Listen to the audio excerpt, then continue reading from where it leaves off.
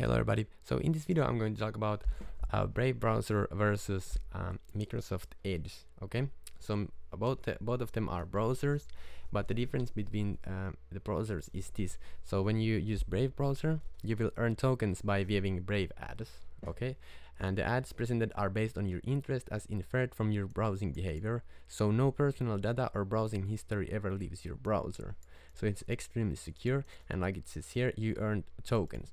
So you earn BAT tokens for free, which you can uh, trade for money, and you can also trade for other cryptocurrencies. It's made really easy.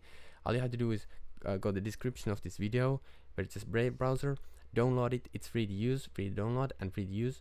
Uh, then install it and start using it. This is the first page that you will see. You come here, and here it says verify.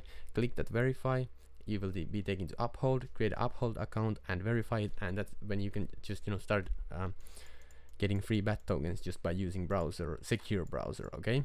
So I just started using Brave browser myself.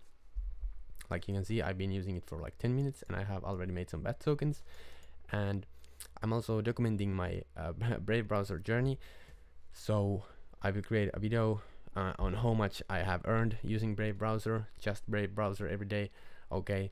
So check that also do uh, to uh, go to my channel and type in brave browser. You can see many brave browser videos there. But okay uh, go to description of this video. Download brave browser for free. Start using it for free and yeah. See you uh, in the next video. If you found this video helpful subscribe like this video. And if you have any problems of course comment. I will answer you all okay? Thank you so much and see you in the next video